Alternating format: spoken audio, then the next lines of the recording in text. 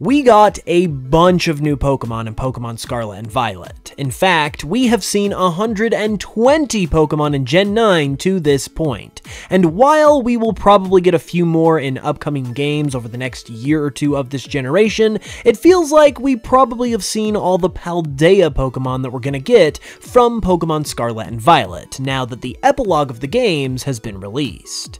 So, as such, I am going to be covering one fact about every Paldea Pokemon over the next week, making for 120 facts in total.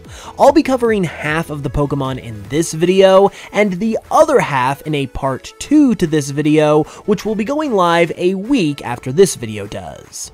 I've done a lot of digging to find some cool facts about all the Paldea Pokemon, so with that said, let's go ahead and get into it.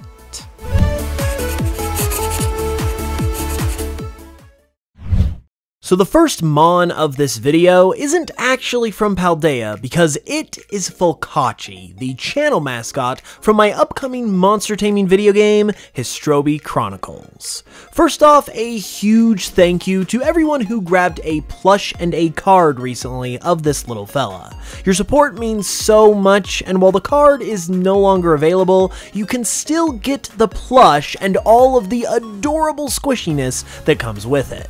You can grab one with the link below at histrobeashop.com, and it truly does help to take everything I do with this channel to the next level.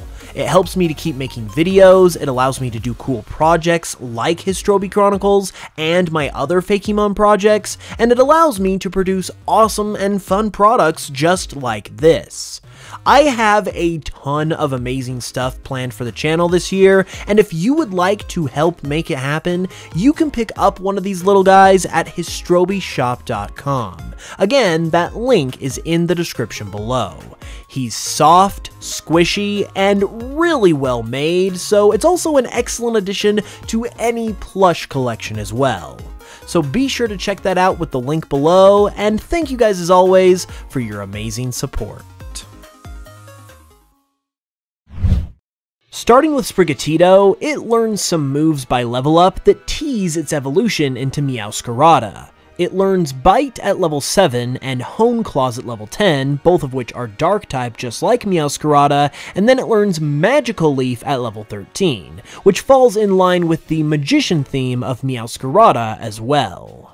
For my fact on Floragato, it's one that is kind of attributed to its line as a whole, but a possible inspiration for the magician theme of these Pokemon upon reaching their final evolution might be due to their inspiration, the Iberian lynx, being an endangered species, as they are unfortunately disappearing in much the same way that magicians often perform disappearing acts. I can't technically confirm this directly as an official fact, but I thought it was a really interesting and noteworthy possible connection for these Pokemon nevertheless. The Magician Pokemon itself, Meowscarada, has the highest speed stat of any starter Pokemon, excluding special forms of them like Mega Sceptile or Ash Greninja. This is also likely inspired by its magician origins, and more specifically, the very quick sleight of hand that magicians often employ. Meanwhile, Fuecoco also learns a move that teases its final evolution, as it learns Round at level 7, which is a singing based move that obviously alludes to the singing theme of its final evolution, Skeledirge. Speaking of music-based moves, Crocalor was unable to learn the move Encore by TM, even though Fuecoco and Skeledirge could, until almost a year after Pokemon Scarlet and Violet came out, when the Teal Mask DLC was released and the apparent error was finally fixed. And on the note about the music inspiration, one of the coolest parts about Skeledirge's design is that its head and snout are actually meant to resemble the runway of a stage that you would typically see at a big concert. This is cemented by the fact that the little flame bird that accompanies Skeledirge is at the end of the runway like a singer at a concert would often be. Moving on to Quaxly though, it is actually not from the Paldea region, as its Scarlet Pokedex entry says that this Pokemon migrated to Paldea from distant lands long ago. While the Quaxly family ultimately follow a theme of dancing, Quaxwell also resembles a synchronized swimmer, with its feathers resembling a swim cap and swimsuit. This is likely due to the fact that synchronized swimming was once also known as water ballet. Going along with this, Quaquaval is clearly based on a dancer because it is constantly seen dancing in the games. Despite this, however, Quaquaval can only learn 3 of the 12 dancing moves that currently exist, and can only learn 2 of them by level up. For our boy Lechonk, it gets to say that it has something unique to its name, as it is the only Pokemon currently with a base stat total of 254. Its evolution Oinkologne is also unique as well, as it is the only Pokemon that has a signature ability for only one of its genders, as its ability Lingering Aroma is exclusive to male Oinkologne.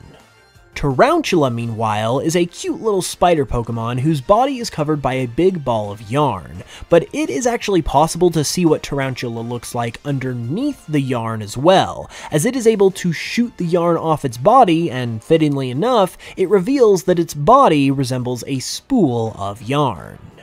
Its evolution Spidops is another Pokemon with a unique base stat total, as it's currently the only Pokemon with a base stat total of 404.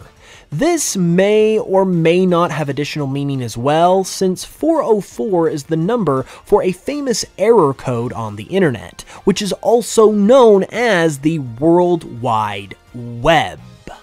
When it comes to Nymble, despite being themed around jumping and kicking, neither Nymble nor its evolution can learn the move High Jump Kick. Nymble's evolution Lokix actually has an additional form that we don't have access to in the games.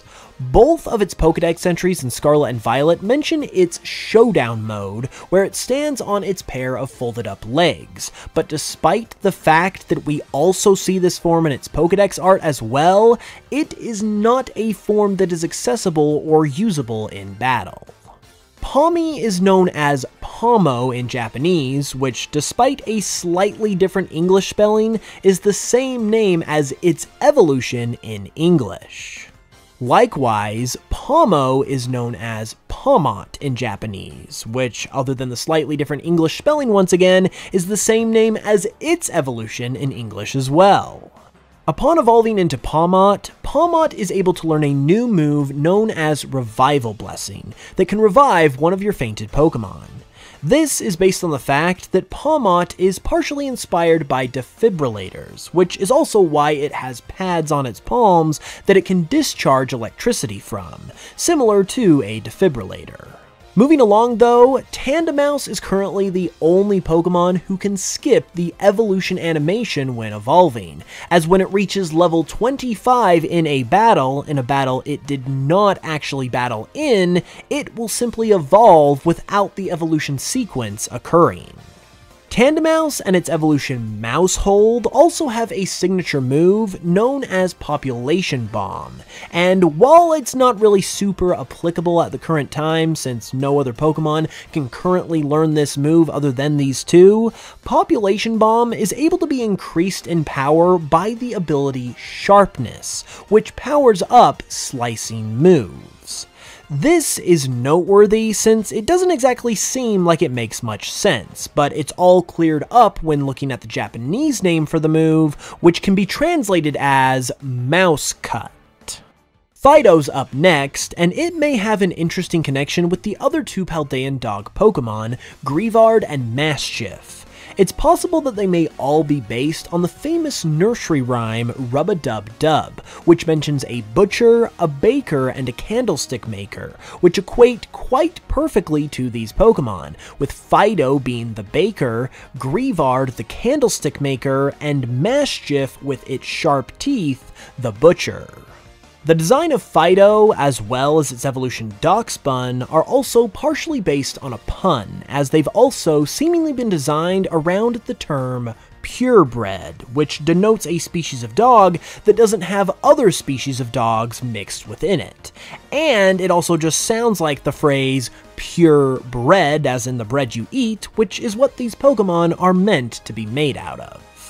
Now we're going to look at Smoliv, and despite the Smoliv family having a signature move, Terrain Pulse, and being the only Pokemon who can learn this move by level up, the move itself was actually introduced before they were, as it actually made its debut in Generation 8. A really cool thing about Dolliv, meanwhile, is that its dex entries actually explain why its shiny form exists and why it's so rare.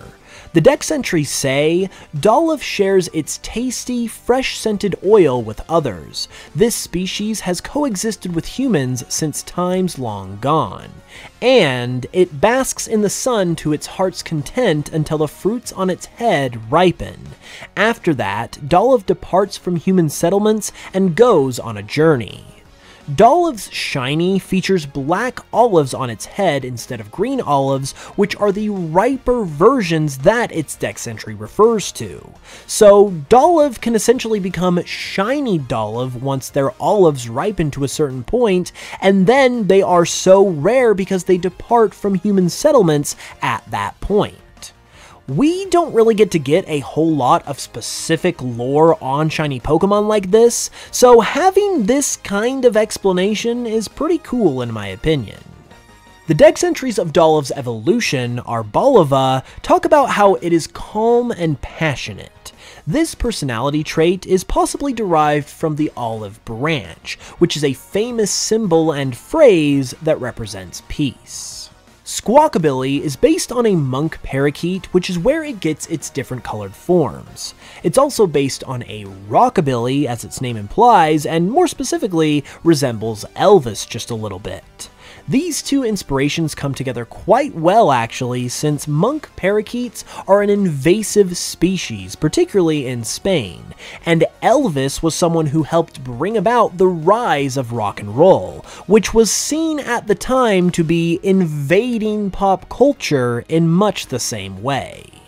Moving on though, Nacli and its family all get their names in part from the chemical symbol for salt, which is what they're all based on. Salt's chemical symbol is NaCl, which all of these Pokemon have in their names. Now, Naclstack is a Pokemon that I don't really like personally, but even I have to admit that it seems pretty inspired, even right down to its eyeballs, whose glowing nature seems to resemble Himalayan salt lamps. Additionally, these Pokemon also take inspiration from strata, which are the different layers of sediment that sit next to each other and can be visibly distinguished from one another as well. And while this next part is mostly just coincidental, I thought it was kind of interesting that the Wikipedia page for Strata features an example of it from Salta, Argentina. So, who knows, maybe Game Freak were consulting Wikipedia when designing these Pokemon. Garganacl, as well as the rest of its line, have a signature ability known as Purifying Salt. Part of this ability's effect is that it halves the damage taken from ghost-type moves, which might seem a bit odd, but this effect is actually pulled straight out of Japanese culture, where salt is considered to be cleansing and purifying, and in particular is thought to ward off evil spirits.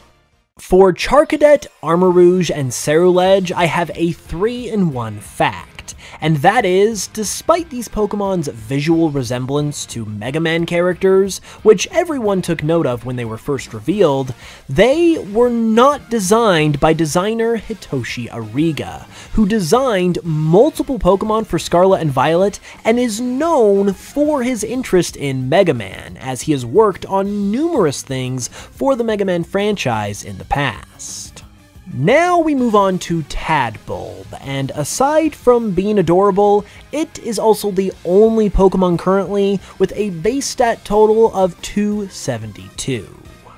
Its evolution Bellibolt, despite being a pure electric type, can learn a couple of poison type moves. This likely comes from one of its inspirations, the Cuyaba dwarf frog, who has false eyes just like Bellibolt and can emit a poisonous secretion when it is threatened. Wattrel's Violet Pokedex entry mentions how its nests are a delicacy, which may sound a bit odd, but it's actually based on a real thing. Believe it or not, there are what are known as edible birds' nests that are legitimately eaten by people, largely in Asia. According to Wikipedia, they are made from the solidified saliva of various birds known as swiftlets, which makes the idea of eating them all the more odd in my personal opinion. But what's more is that they are also one of the most expensive animal derived products that are consumed by people, with prices apparently around $4,300 a pound connecting Wattrel to one of the more wild, real world facts of all time. Kilowattrel, meanwhile, doesn't have something that's quite as interesting to its name, as, to be honest, despite all the digging that I did, the most interesting thing that I could find out about this Pokemon is that it and Wattrel currently have their own signature ability that no other Pokemon has, which is Wind Power. Despite being a pretty solid Pokemon, there sadly wasn't really much else to be had in the trivia department for this Pokemon at this time. With that said, let's go ahead and move on to Maschiff though. Maschiff's abilities pay special attention to this Pokemon's inspirations and mannerisms, as it can have either Intimidate or Runaway as an ability, which show its desire to be scary, but its tendency to also be anxious or even scared itself, and then its hidden ability, Stakeout, also alludes to its Mafia origins, as the only Pokemon currently with this ability are ones that are inspired either by different types of criminals or by different kinds of law enforcement. Its evolution Mabosstiff, upon evolving, learns a new move known as Comeuppance. While essentially its signature move, there are a couple other Pokemon who can also learn it. However, they, interestingly enough, all have Mafia origins or Mafia ties, as the other Pokemon who can also learn this move are Honchkrow, who goes without saying, and Houndour and Houndoom, who are partially based around Dobermans, who are known to be and stereotypically seen as a dog that is owned by the Mafia, due to their aggressiveness and their role as guard dogs. Moving on though, it's possible that Shroodle's design, particularly its body shape, was inspired by a popular piece of graffiti art known as Kilroy Was Here, as the art does indeed resemble the shape of Shroodle, and this Pokemon as well as its evolution are of course based around graffiti. You may think it's odd, however, that Shroodle, who is naturally based around a shrew, would evolve into a monkey-esque Pokemon like Grafaiai. Well, no decision in Pokemon is made without its research, as this actually likely comes from the fact that the tree shrew is one of the closest living relatives of primates, like the Ai that Grafaiai is based on. One of my favorite Paldea boys, Bramblin, has a super cool fact about him as well, as his cry is actually similar to the beginning of the theme from The Good, the Bad, and the Ugly, a classic Western film, which goes along with the trope of tumbleweeds rolling through abandoned towns in Western movies.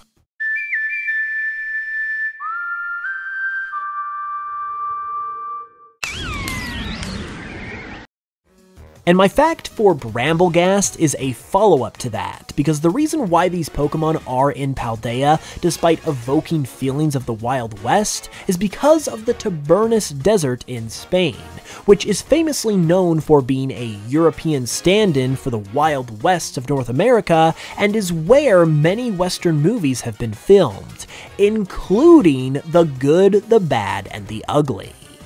Now it's time for Toedscool, and both Toedscool and Toedscruel are referred to within the data of Pokemon Scarlet and Violet as Okakingu and Oka Gyaradosu, which implies that there were once plans for convergent forms of Magikarp and Gyarados that these two Pokemon, Toedscool and Toedscruel, ultimately replaced instead. Toedscruel and its pre-evolution are based around mushrooms, which continues a trend that may or may not be intentional, but it's still interesting, of mushroom-based Pokemon being introduced in odd-numbered generations. We've had the Paras line in Gen 1, the Shroomish line in Gen 3, the Foongus line in Gen 5, the Morelull line in Gen 7, and now the Toedscruel line in Gen 9. I guess I can see now why they had to scrap the Convergent Magikarp and Gyarados, because they had to make sure they adhered to the very important mushroom theme in the odd-numbered generations. Klawf's blue shiny coloration is likely inspired by blue lobsters, who pop up on rare occasions similar to shinies, and are often referred to as shiny themselves when stories about them are posted on social media. Next up is Capsakid, and it is currently the only grass-type Pokemon that evolves with the use of a Firestone. Its evolution, Scovillain, is funny because it is the very first grass and fire type Pokemon, which the entire Pokemon community eagerly awaited for over 25 years, and now it has become the Pokemon who has owned a unique type combination for the shortest amount of time, since another grass fire type in the form of Hearthflame Mask Ogerpon was introduced less than a year later with the release of the Teal Mask DLC. Whoever designed Rellor, meanwhile, is about as mature as you would expect someone to be when designing a Pokemon based on a dung beetle, because it actually has a poop-shaped pattern that can be partially seen on its stomach. And speaking of partially seeing something, its evolution Rabsca is mentioned in its dex entries to have an infant sleeping inside the ball that it carries. And this infant can actually be seen in the games, and it has a design that is unique from Rabsca or its pre-evolution Rellor, essentially making this infant an unofficial Rellor pre-evolution. I've got another multiple facts in one here for Flittle and Espathra, which funnily enough also involves Hitoshi Ariga. While he is on record as the designer of Espathra, he apparently did not design Flittle, which is pretty interesting. On top of that interesting distinction, he has also designed some pretty awesome and intense Pokemon on top of this, like Ogerpon, Necrozma, and Ultra Necrozma, the latter two of which he helped to design. I don't know about you, but to me it's pretty interesting to think about how a Pokemon like Espathra and Ultra Necrozma were essentially designed by the same person. Meanwhile, the shiny colors of the Tinkatink family simply change their hammers to a rust color, implying that their hammers are in fact rusted and thus have had them for a while. This supports the idea presented by Dolliv that was mentioned earlier, that at least some shiny Pokemon become that way because they're simply versions of their species who haven't been seen or caught by a trainer in a long enough time, to where their appearance can begin to change for whatever reason, resulting in the shiny form, which is a pretty interesting idea and cool piece of potential shiny Pokemon lore. Tinkatink's evolution, Tinkatuff, as well as the rest of this evolutionary line, were designed by Megumi Mizutani, who also designed other notable Pokemon like Mimikyu and the Hisuian Growlithe family. The final evolution of these two, Tinkaton, is partially based on the media trope of little girls with big hammers, or just big weapons in general. And yes, that is an actual media trope as evidenced by similar characters like Amy Rose or Harley Quinn.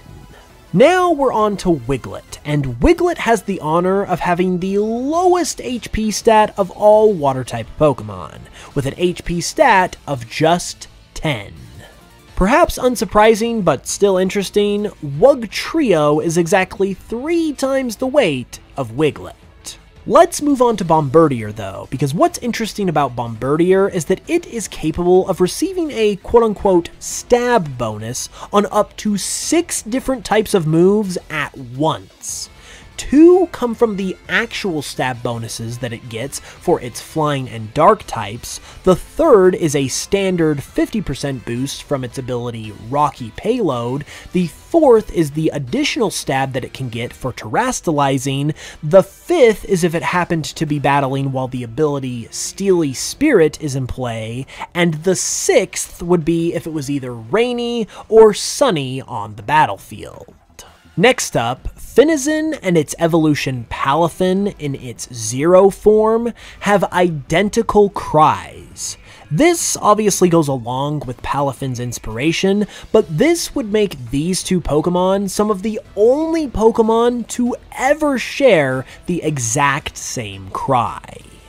Palafin evolves from Finizen at level 38, and this may be a reference to the year 1938 which is the year when Superman debuted as a character, which Palafin obviously takes some inspiration from.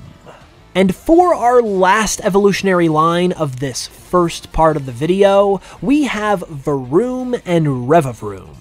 For Varoom, it has a pretty ingenious name, as it comes from Vroom, the onomatopoeia for the sound that a car makes, and Va, which translates to go in Spanish, which connects to both the car inspiration as well as the Spanish inspired Paldea region. Meanwhile, Revavroom is very thematically inclined as well, as it may be going so far as to reference the concept of road rage within its move pool. It can learn moves like Taunt, Torment, and Parting Shot, all of which could tie very fittingly into a Road Rage reference. And in addition, it can also learn other moves that references its car theme as well, like Poison Gas, Smog, Screech, and Spin Out. And that was all the Pokemon for part number one. Leave a like and let me know your thoughts in the comments below, and tune in next week as I will have facts for the rest of the Paldea Pokemon in part number 2. Be sure to subscribe as well if you haven't for more content, and with that said, I'll be back with another new video very soon. Until then, as always, thanks so much for watching this one, I really appreciate it, and I will smell you guys later.